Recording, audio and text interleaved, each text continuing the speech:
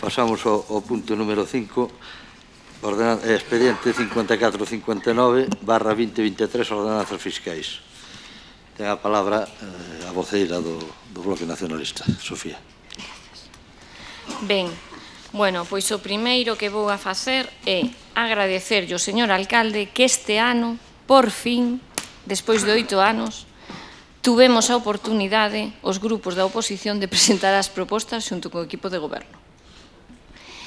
E dito isto, eh, tamén teño que decir que foron igualmente desestimadas que os anos anteriores. Ben, o traballo está feito. Eh, as ordenanzas fiscais veñen tamén po, por urxencia no sentido de que había que traelas a pleno rápido, rápido, non se podía traballar máis nelas. E digo isto polo seguinte, porque eh, nos a, dende o BNG, a primeira proposta que facemos é eh, que se fagan dende os de, eh, diferentes departamentos e áreas responsables dos diferentes servizos que se faga un estudio técnico-económico dos custos e dos ingresos eh, e que se revisen todas as ordenanzas fiscais e reguladoras de prezos públicos para o 2024. Ben, Por que digo isto? Porque é fundamental de determinar os custes reais dos servizos e, ademais, é algo que os técnicos piden todos os anos en todos os informes. E vemos como eh, pois non se fixo ningún.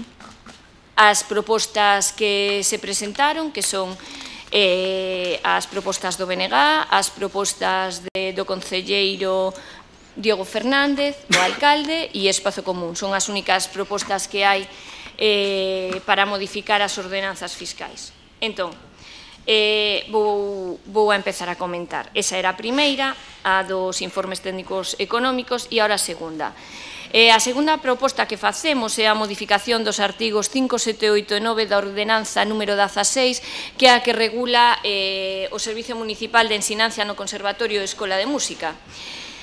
Nos eh, dimos unha volta esta ordenanza, eh, despois de falar ca, cas familias, e eh, propoñemos eh, que se rebaixen as tarifas e eh, que, li, que se elimine o pago por tramos. Plantexamos unha tarifa fixa, pero con bonificacións por diferentes situacións, porque cada familia ten unha situación diferente e, ademais, para facilitar o pago a todas as familias, eh, presentamos unha opción de pago mensual que sería interesante e, e, e as familias eh, eh, facilitaríalle eh, pois, bueno, non ter que desembolsar no mes de setembro a cantidade que temos que desembolsar. Ben, eh, o, no artigo 5, onde se fixan as contías, pois aparece o Conservatorio Profesional de Música e a Escola de Música. Bueno, eh, nos collimos como base a, a as ordenanzas moitas de outros concellos, concellos donde sí se poden facer esas exencións, sí donde se poden facer esas bonificacións, aquí dice que non se pode facer nada, no informe eh, técnico dice que non pode facer nada e vostedes avalan, eu non sei entón como fan o resto de concellos, porque mire, hai unha situación que eh, que é chamativa. No Concello do Carballiño, eh, no pleno anterior, que falamos do tema do conservatorio, falábamos que quedaron moitos nenos e nenas do Carballiño fora. Pero dase eh, a, a circunstancia que no Conservatorio do Carballiño hai nenos da comarca, hai nenos de Ourense, hai nenos de moitos sitios. O meu non quero votar a ninguén do Conservatorio, obviamente, pero cando é un servizo municipal entendo que ten que ter preferencia os empadroados no Carballiño penso, penso. E a quen lle corresponde buscar a fórmula legal para facelo? Pois o equipo de, o, a quen goberna, sexan vostedes, sexa quen sexa. Entón, eh, porque noutros concellos faise, eh? e gobernados polo PSOE e polo Bloque.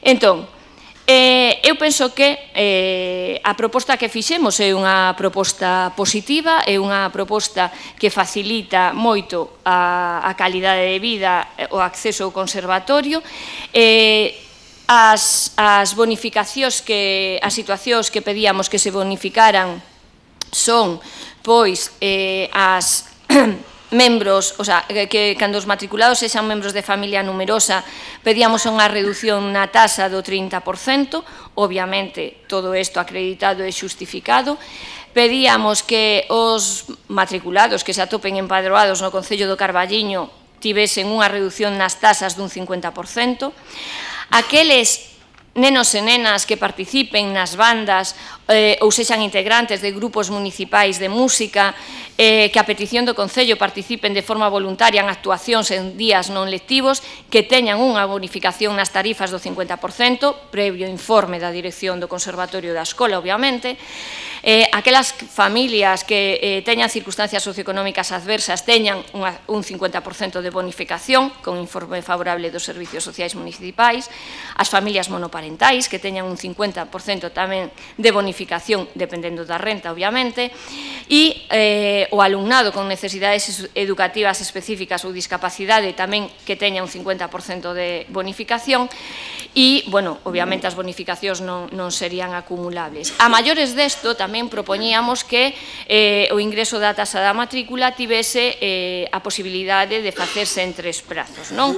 Un 35, un 30 e un 35% e os plazos irían en xuño, outubro e novembro novembro. Isto é o que propoñemos para eh, facilitar eh, eh, a, a vida ás familias.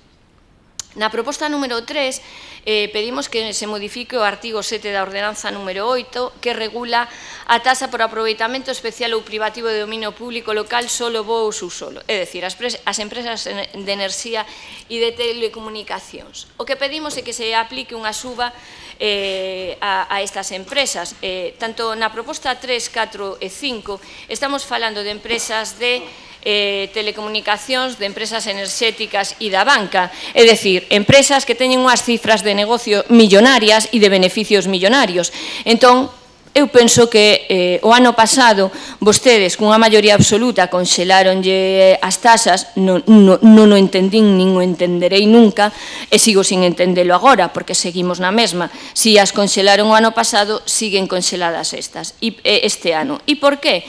Porque nos informes dice que non se realizaron os estudios, eh, os informes eh, económicos. E eu pregúntolles, Levan oito anos gobernando. Hai 36, 39 ordenanzas. Antes, no primeiro mandato eran oito, no segundo nove, ahora son seis, son uns poucos menos, pero queren decirme vostedes que non tiveron tempo entre todos e cada un, sendo responsables dunha área, de peinar as ordenanzas. Tiñan as que ter bordadas e seguimos como estábamos, sin facer o estudo, sin coñecer cales son os custos e sin poder mover nada. Ahora ben, chamaba a atención que na proposta, eh, na proposta do equipo de goberno si se desestimen as propostas do BNG porque non teñen os informes técnicos, pero si se admita a do concelleiro do equipo de goberno, que non digo nin que este ben nin que este mal, pero non ten os informes técnicos eh, tampouco. Entón, bueno, gustaríame saber porque el sí e nos non. E despois, con respecto á, á proposta, que hai as outras dúas, eh, con respecto á da auga, eh, decir que, bueno, xa pasou o ano pasado e que o IPC No, vostedes non poden subir a tasa da auga según o IPC por lei, e o di o interventor eh, eh, no informe, non? Que eh, a lei 2 barra 2015 derogou calquer vinculación directa á subida de tasas ao IPC. E despois, con respecto á fórmula de, de, do lixo ca revisión da, da deputación, estamos no mesmo estamos no mesmo, o Concello do Carballiño sale moi perxudicado eh, aplicándolle esa fórmula.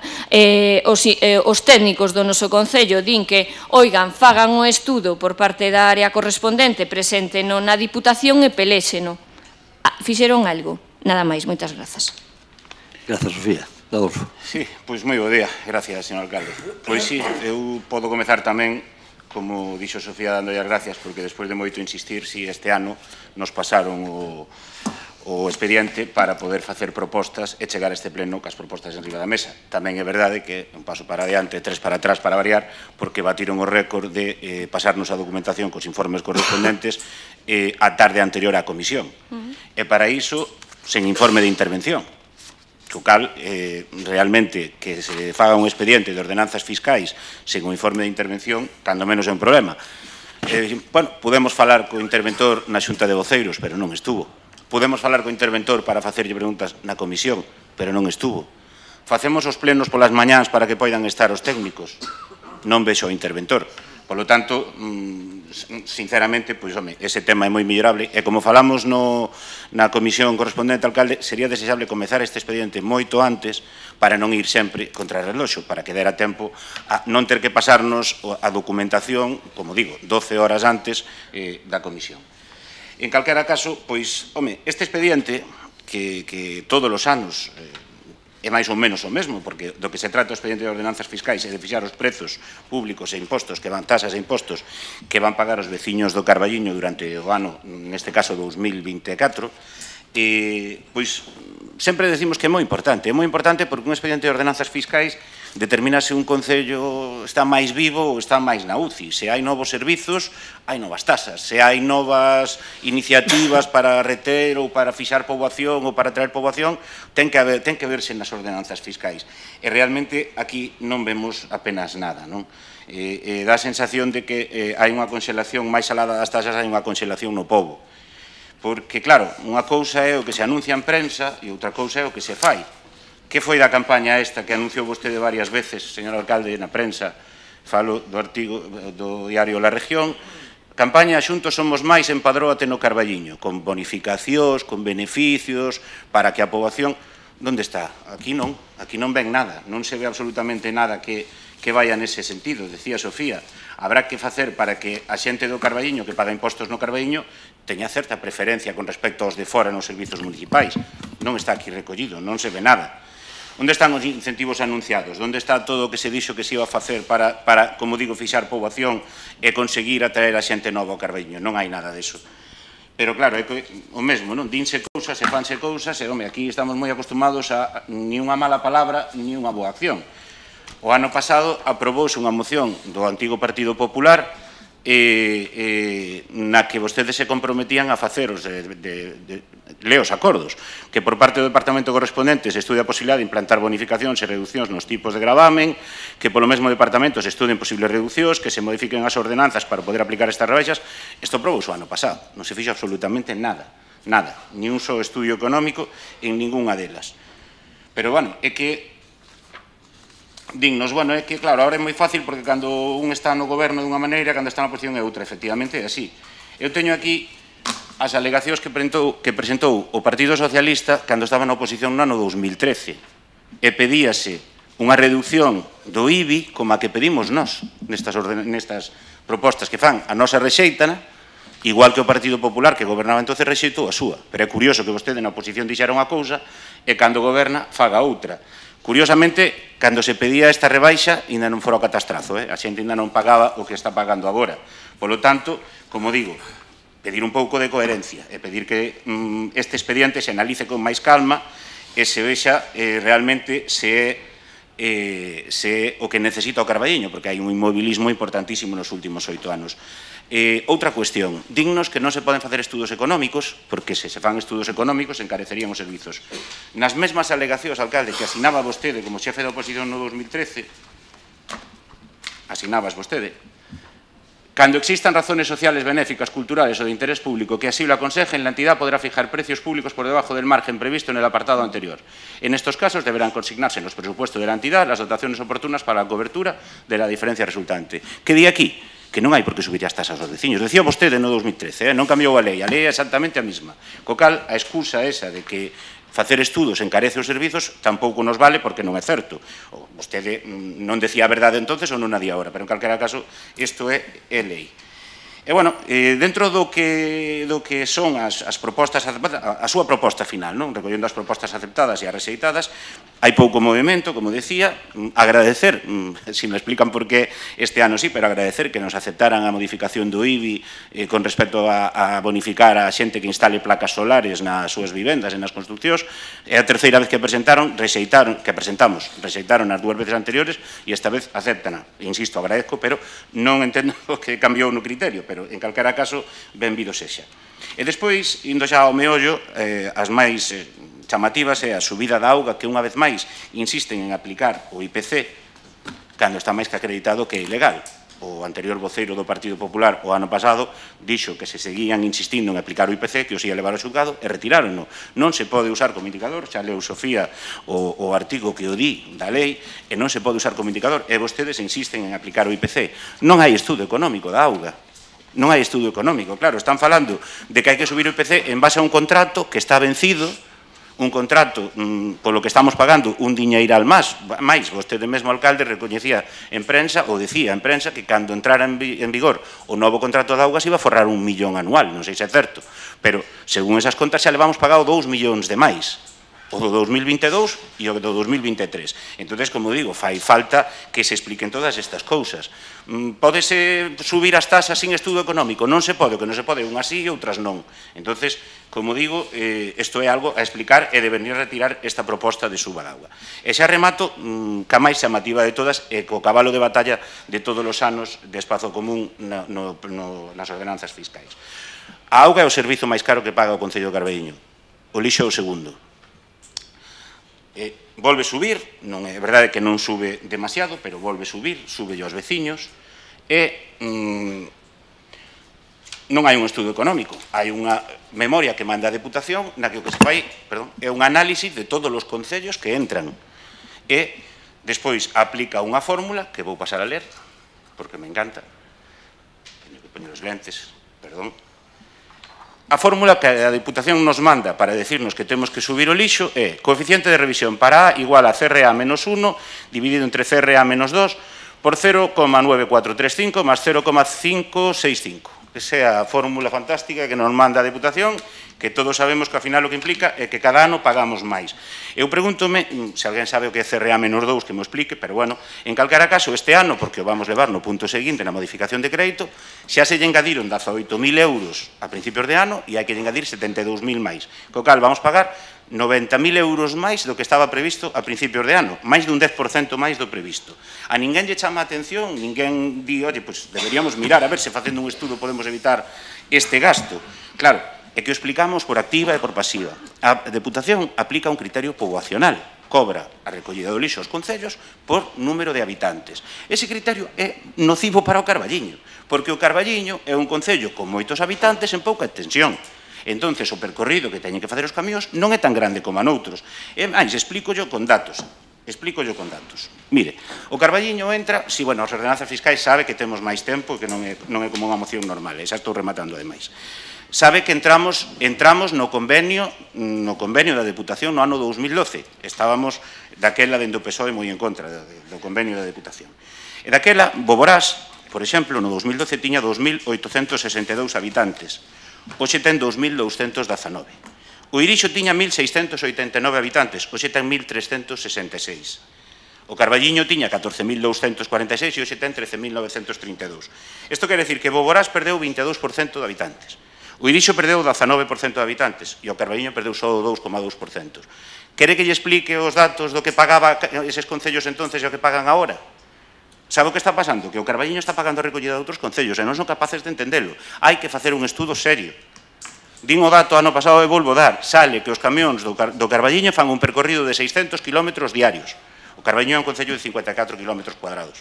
É moi difícil creer eso. Entonces, como digo, mm, fagan ese estudo dunha vez, fágano e, e, e defendan dentro, diante da deputación un cambio de criterio. Trátase de decirle á deputación, se non queremos buscar outras fórmulas, non, queremos que se aplique un criterio que, que aúne poboación e extensión. E verán como cambia a cousa, como van a empezar a pagar menos. Pero, bueno, que o convenio da deputación mm, non é bo para o Carbeño, non yo digo eu, decía vostede que me, buscando na, eh, na hemeroteca a información que hai de, de o que se decía daquela no 2013, no 2011 e demais, Vostede pedindo información da recollida semanal dos kilos recollidos, para que? Para isto mismo que estamos falando agora. Isto cando estaba na oposición, por suposto. Desde que é alcalde non se fixo ni un só cambio neste convenio, ni un, siga exactamente igual. Pero se hasta chegamos a presentar unha moción, home, estou seguro que recoñece a firma, non? A firma é a súa. E chegouse a presentar unha moción pedindo a rescisión do actual convenio asinado polo Concello de Carballiño ca Deputación Provincial. E, e, xa non digo que se rescindira, digo que polo menos se modificaran as cousas que non estaban ben. E seguimos traendo as mesmas ordenanzas fiscais e seguimos co mesmo convenio. E xa estamos en outubro dun ano máis e un ano máis se renova ese acordo tal cal está.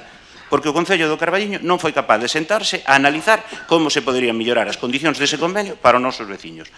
Polo tanto, como digo, un expediente que dá a sensación de que vai pouco traballado, eh, seguimos para bingo, claro, seguimos para adiante con todo igual. De acordo, nada máis, moitas gracias. Ben, eh, o noso grupo, a noso entender, eh, sería pouco sao que fixésemos propostas eh, con respecto ás ordenanzas, dado que entendemos que nos faltan datos. Sería bo ter datos de costes, ingresos, informes, como como dixo Adolfo, e polo tanto, pois ter un estudio de repercusión do, dos, dos servicios e incluso pois sería pff, moi interesante avaliar se si temos unhos servicios adecuados ou non, eh, e incluso de nova renovación nun horizonte próximo, como pode ser o tema da auga. Eh, con respecto ao punto a proposta de Sofía eh, con relación ao conservatorio, eh, é unha proposta que fixemos cando tratamos o tema das necesidades do conservatorio que nos trasladou o AMPA que daquela, bueno, os informes parecía que eran similares aos que, que hoxe acontece ca proposta do BNG, e habíamos quedado en que co Conservatorio era urxente unha mesa de traballo para tratar globalmente a proposta e demais problemas do Conservatorio. Eh, bueno, basicamente, pois, eh, vémonos con pouca documentación para poder avaliar realmente coste, ingresos eh, e repercusión no tema de ordenanzas e tarifas públicas. Gracias.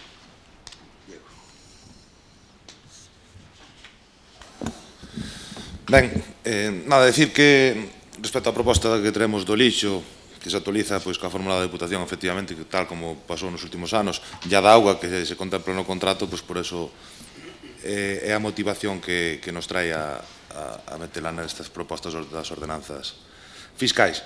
Respecto ás propostas xa que presentan os grupos municipais, no caso do Espazo Común, pois na a súa proposta a primeira, pois que propón un 20% de desconto para os veciños rural e 50% para os novos veciños, aquí temos que votar en contra porque os veciños advirten que o criterio de empadronamento non se pode usar como un beneficio fiscal, é dicir, que é contrario á lei. Por lo tanto, pois non podemos votar a favor. Respecto ao, a número 2, que como, vendo, como é habitual, como dicíamos antes, pois se utiliza a fórmula facilitada para a Diputación para a actualización da tasa do lixo, pois tamén eh, votamos en contra, e na número, no caso da número 3 a número 4, pois tamén en contra por non ser factible nestes momentos. No caso da número 5, eh, dicir que na actualidade eh, eh, esta medida que, que se presenta, que por certo non ben valorada na proposta ni de onde se reiterarían os, os, os gastos, pode supoñer unha perda de ingresos para as arcas municipais de alrededor de 300.000 euros en un contexto no que IBI xa leva conxelado os últimos anos é a suba dos costes como pode ser o de enerxía eléctrica, a auga, o combustible, o personal, incluso a máis que segura suba do SAF, que podría levar ao Concello pois, a unha situación económica pois, crítica. Non? E despois, respecto á proposta número 6, como adiantaba Adolfo, efectivamente, pois, nós tamén vamos estar a favor, entendemos que temos o deber de facilitar as medidas destinadas a, a rebaixar o consumo enerxético, tanto por compromiso social como por medioambiental, Eh, aquí sí que lle diríamos, por consello unha proposta que xa falamos un poquinho cos técnicos, é introducir, poñer outra documentación necesaria, por si acaso tuveramos que houbera que buscar outros métodos de justificación, simplemente eso, na, na proposta. Se os técnicos consideran que se mellora así e que é máis práctico. Non, digo, vamos a decir que o informe do técnico pode ser, sabes, que se acorda 50, pero uh -huh. que pidamos tamén recibos de de electricidade de consumo. Sí, por exemplo, sí, por exemplo, os recibos de consumo. Pero para non especificar outros documentos que se Parece razoable. Sí. O caso é que a leven adiante, que se faga e eh, tamén no, podese modificar cada ano. Nada, simplemente eh, despois na votación inclu, eh, dicímolo cando se vote que que que se te saben pois a nosa proposta. Pero non non o puxestes na proposta, facilita, acordo, sí. non, non. Ah, a pena. Non. Estamos facendo en, en bocha.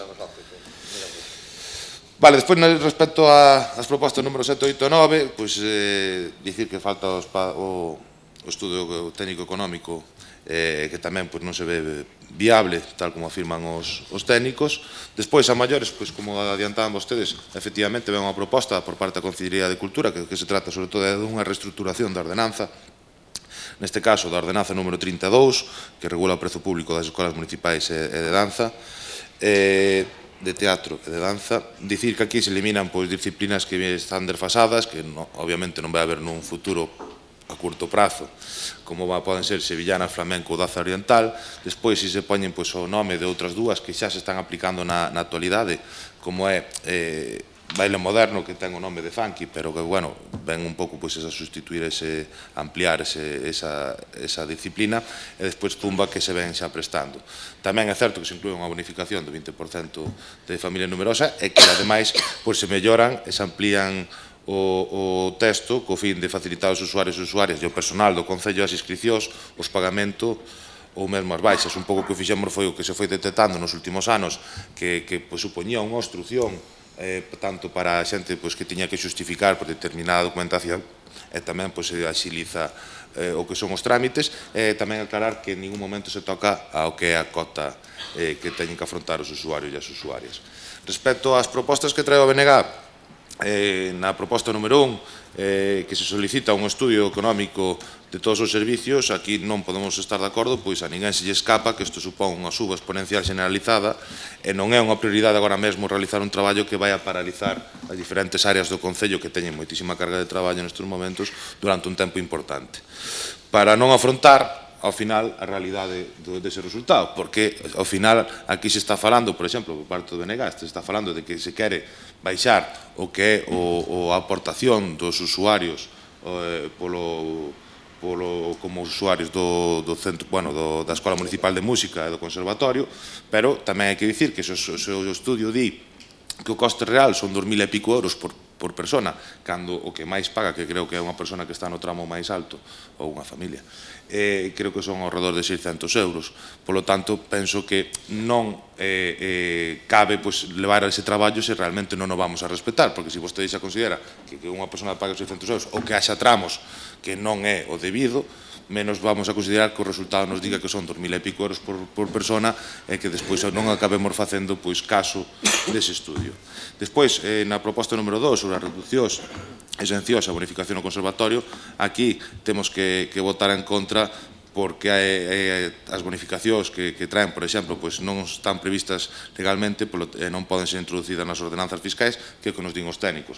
Que pode ser cuestionable que os técnicos digan unha cosa nun lado ou noutra, nós o que podemos, o que temos que dicir é que os técnicos da casa que din que non é legal, pois obviamente nós non podemos eh, eh, votar Ai, ahora neste sí. caso.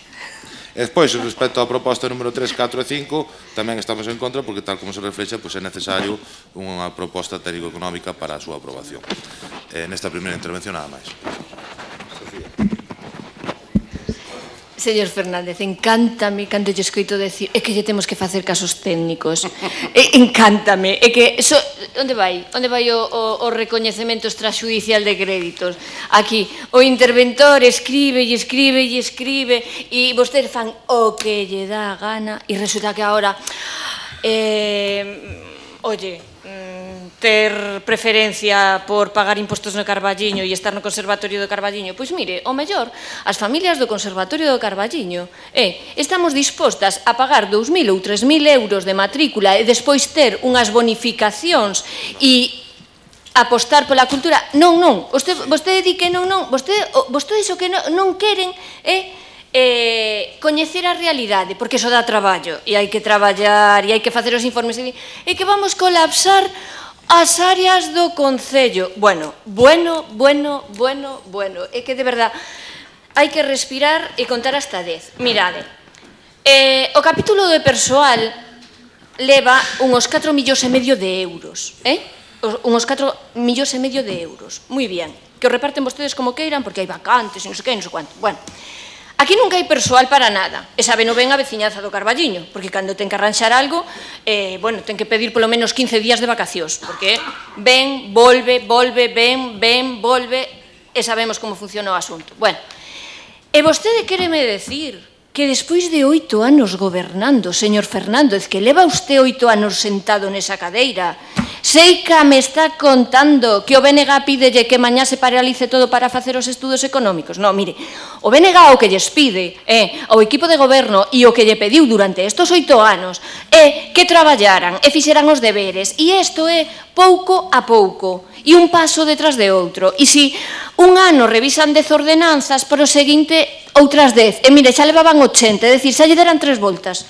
Tres voltas as ordenanzas. O que pasa é que hai que ter ganas de traballar. Eso é o único que hai que ter, ganas de traballar. Ideas e proxectos para o Carballiño. É o único que hai que ter. Entón, eh, Eu non, non, non entendo a postura de vostedes. E, e podeme explicar entón por que non lle quere subir a tasa eh, os, caixe, os caixeiros automáticos a la gran banca? Non lle quere subir a tasa. Sei que teñen algún problema. As empresas de enerxía eléctrica, señor Fernández, as empresas de telecomunicacións, que teñen cifras millonarias de beneficios. E vostede dime que se colapsan os servizos do Concello. Eu non sei, o que están é colapsados vostedes, pero dende fai tempo. Bueno, para rematar que eh, o pleno é longo, eh, dende o BNG calificamos de insuficiente o traballo que fan e repetímolo en todos os plenos, unha e outra vez, e nas ordenanzas fiscais en concreto. Miren, póñanse a traballar, fagan os estudios por área, coñezan realmente cal é o custe e tamén despois eh, as ordenanzas aplíquenas, porque bueno, vamos a falar despois tamén, porque isto de que unos paguen e outros non, non, non é moi ético. Nada máis, moitas grazas. Eh, Ben, pois insistir en que o que denota o que denota este expediente, o que o que se sustrae deste expediente apatía, é apatía, é pouca gaña de, de, de cambiar cousas, pouca gaña. Eu entendo que cando un está nun, nun goberno é imprescindible a ilusión. Bueno, nun goberno na oposición, por suposto. En calquera cousa que se acometa na vida é imprescindible a ilusión. Decía eh, vostede mesmo, señor alcalde, hai tempo, que ninguén debería estar nun cargo máis de oito anos porque se perden a ilusión e as ideas. O que emana deste expediente que, dende logo, ilusión non hai e ideas non se ven moitas. Eh, efectivamente, decía Sofía, nos presentamos eh, propostas para que lle suba, se lle suba tasa aos caixeiros que están na rúa. Mm, eh, denégase porque sí, cando realmente os caixeiros, os, os bancos non teñen ningún problema en seguir subindo os, os seus intereses, as súas as súas cotas e seguir esquilmando os cidadáns. Eh, pasa o mesmo que as eléctricas, pasa o mesmo que as empresas de telecomunicacións. Hai que facer estudos económicos, Oxe, se aquí vostedes van subir dúas tasas sen estudo económico do Concello. E entonces que pasa? Que con unhas sí e outras non. Decía ben, Sofía, vostedes teñen unha doble vara de medir con respecto aos informes técnicos incomprensible. Non deberían eh, facer mención aos informes técnicos porque cando lles dá gana, e vámoslo ver despois ao largo do pleno varias veces, saltanos a toreira. Saltanos a toureira e dalles exactamente igual. Entonces decir, ahora, no, esto non lo podemos hacer porque nos lo dicen los técnicos. Hombre, pois é pouco serio, é pouco serio. Ou fan sempre o que din os técnicos ou non o fan nunca, pero non nos poden facer eh, comulgar con rodas de muiño dicíndonos unha vez cada cousa. Eh, miren, eh, falando das bonificacións, non o digo eu, dixo o alcalde na prensa que iban traballar en bonificacións, que iban traballar nunha tarxeta cidadá que lle permitira aos veciños do Carbeño ter descontos. Eso ten que estar recollido aquí, porque senón como se vai a aplicar se non está recollido nas ordenanzas? Hai que aplicar que os cidadáns que teñan tal tarxeta poderán ter tales descontos por ser veciños do Carveño. E mm, dirán vostedes que non se pode facer, pero en Vigo funciona a Paz Vigo perfectamente, onde goberna o Partido Socialista e Abel Caballero. A tarxeta Paz Vigo, eso para no Vitrasa eh, está todo Dios en Vigo ca Paz Vigo, e eh, para un montón de servizos máis. E teñen descontos nas escolas municipais, e teñen descontos en todas as actividades que fai o Concello. Polo tanto, non vexo eu por que non se pode copiar o modelo, ou polo menos ver como é o modelo de Vigo, e intentar trasladar o Carballiño, pero levamos falando desto anos. Entramos por aquela porta no 2015, alcalde, xa falábamos das bonificacións. E nos primeiros anos sí que se fixeron modificacións nas ordenanzas. Introduciuse o cálculo do IPREM para axudar as familias desfavorecidas. Recuperouse a entrada a, a diferenciación entre a entrada de vados e carruaxes. Todos os anos se van facendo modificacións. Desde fai 5 ou 6 anos a esta parte, este é un expediente de trámite como casi todo. E, e, e para rematar xa, e, e, que nós non podemos estar a favor deste expediente en ningún caso, porque, insisto, sóbese a basura sin analizar por qué ou como poderíamos a forrarlle diñeiro aos veciños, porque non é só que lle subamos a tasa, é que das arcas municipais salen 100.000 euros máis, 80.000 euros máis, perdón, do que estaba previsto nun principio. Eso tamén lle sai dos petos, do peto dos veciños. Elevamos anos dicindo e non hai maneira de que se faga ese estudo económico, non hai maneira de que se, se llama a Diputación e se diga, vamos a sentarnos e vamos a analizar outras posibilidades, porque o Carballiño está pagando a recollida de outros concellos, o Carballiño non, os veciños do Carballiño, que son os que pagan impostos. Polo tanto, eso debería analizarse. Pero é que van subir a auga aplicando IPC? Cando tuveron un debate con Ricardo Perea o ano pasado e acabou amenazando el que algo sabe desto que os levaba a xulgados e aplicaban o IPC. E siguen insistindo no IPC, son cousas incomprensibles. É dicir, dun ano para outro seguimos cometendo os mesmos erros. Que o dio contrato. O contrato que hai que facer é sacar o novo. Hai que sacar o novo. O sea, está sendo rompendo povo por todos lados. Creo que sabe o que pasou esta noite. Despois falaremos deso. Pero mm, é que, que vamos, E por último, e remato, como un exemplo claro do, do que pasa, miren, imos aprobar mm, as tasas das escolas deportivas. Nos propoñemos, entre outras moitas cousas, que xa non vou a debullar aquí para non enredar máis, eh, que se permita que as escolas deportivas se poidan pagar en mensualidades como se fai con outras moitas. Reseitanos sistemáticamente ano tras ano. Agora xa dá igual, porque o Concello xa non cobra ninguna tasa debe cobrar a do tenis, que daba do fútbol e agora xa cobra directamente o Arenteiro. Non cobra ninguna tasa o Concello de ninguna escola deportiva municipal. Eso, se ten explicación, que alguén madea. É un desmantelamento total é un abandono, é un veña, isto que o faga aquela empresa, isto que o faga aquel club, isto que o faga aquela asociación. E, e aquí están cinco persoas liberadas e, e eu non acabo de entender logo que, que é o que xestionan, non acabo de entender. Non o acabo de entender, de verdade, de verdade eu digo. O mellor hai cousas que se me escapan. E non me van a decir a min que o seu traballo que dá isto no día a día.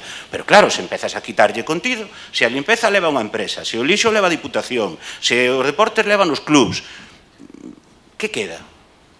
Que queda? Esa é a pregunta. Non, non, xa rematei, alcalde, anunciar que nós imos votar en contra deste de, de expediente, eh, insisto, porque sigue sin traballarse, porque sigue, queremos que podese facer moitísimo millor e facer que sexa beneficioso para os ciudadanos do povo. E non nos vai unha vez máis. Gracias. Gracias.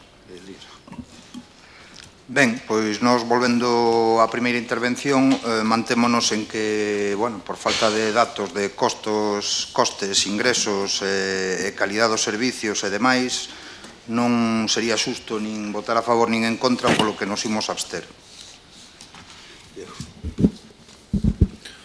Bueno, nada, eh, non vamos a repetir xa anteriormente dito, simplemente facer dúas puntualizacións. A Diputación se trasladou por activa e por pasiva a intención do Carballiño de que non estaba de acordo co criterio que se usa de poboación, consideramos que é injusto social e medioambientalmente tamén e aparte en ningún caso pois premia a reciclaxe dos concellos e por outra beira tamén dicir de que a propia Diputación nas propostas que ten de, de privatización do servicio ten dúas, ten unha co Carballiño e outra sen o Carballiño porque xa inclúe, xa, bueno, xa recoñece a intención do Carballiño de valorar unha posible saída e, e a recollida pola súa pola nosa propia parte. Eso respecto ao tema que falaba vostede da Diputación. Despois, respecto ao tema da, da, da campaña, por exemplo, do empadronamento, etc. Hai que dicir, nós estuvemos traballando para traer eh, posibles eh, modificacións para beneficios por empadronamento nos din que non pode haber beneficios fiscais por carácter de, por, por, por empadronamento, que sí que pode haber outras eh, outras melloras ou outros servicios que podan prestarse pois, para con prioridade para empadroados. Un deles que estamos a traballar é que, por exemplo, de cara ao vindeiro curso no conservatorio eh, se poda eh, ter un primeiro plazo para empadroados, e un segundo para o público xeral, e iso pode supoñer por xa un avance importante para toda aquela poboación do Carballiño, pois ou un impulso para que a xente pois decida pois tamén empadroarse e que poda pois ter beneficios. Xa digo, este eh, son algunhas das cousas nas que estamos a traballar, pero bueno, ata que sean definitivas tampouco queremos eh, facelas públicas. Nós xa manifestamos o que vamos votar en cada punto, polo tanto nada máis. Votación eh, a favor das propostas. Ah, de... Ah, votarse todas xuntas. Como é? Co, como? Vamos, vamos non, non se vota unha ah, por unha? Eh? Non se vota unha por unha? Non, no reglamento pon conxunto, pero... En conxunto? Ah, bueno, é que, a ver, en conxunto... Digo, a proposta nosa é a que fixemos máis a de espazo común, non? Sí, bueno, nos acepta... Eh entendendo que se acepta a nosa proposta, xa digo, temos argumentos para votar en contra do expediente por todo o que eh, eh dixemos, sí. entonces imos votar en contra. Para presentar alegacións, por suposto, sí, sí, que abre sí. o período de alegacións. Si se, si se vota en conxunto, claro, en contra de que se suban os... Vale. Abstención. Non so favor. Sí, é verdade, alcalde, por favor, é que eh, vamos a votar. Levantamos vamos a votar, claro, é que senón, ao final, parece que votamos así eh, po... Vamos a ver, eh, abstención. Sofía, ti a abstención ou era en contra? contra. Eh, en conxunto e en contra. Vale, en contra. En contra non, sí. A favor. Outros anos sí, votamos cada proposta, eh? Por separado, sí. Vot votamos as propostas. Hai unha segunda votación pois porque sí. hai empate, decidiría el voto de calidad del alcalde. Pois volvemos a votar outra vez. En contra. En contra nos. Abstención. Sofía, en contra. Sofía, non levantan os empate. Sí, claro, home, non vou cambiar o sentido do voto. Vale, pues, a favor.